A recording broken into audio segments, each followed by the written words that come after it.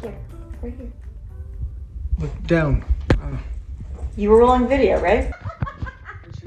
All right. So this is what was happening in my house in the last week. Uh, we had a good time, but did we get the Christmas picture that we were looking for? Uh, not so much. So you're probably going to be taking family photos this holiday with the pet included, and you want it to look good. So we asked the pros, what's the most common mistake that most of us make? I think we try to get the perfect setting and, you know, the dark room, uh, candlelit or firelight lit Christmas tree and stuff like that.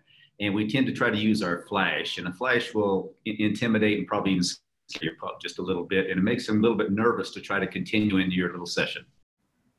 All right, here's a few other takeaways. Take video versus a picture. That way you don't miss anything and you can just take a still picture from the video and use a treat. Hold it over your head or in the direction that you want the pet to look.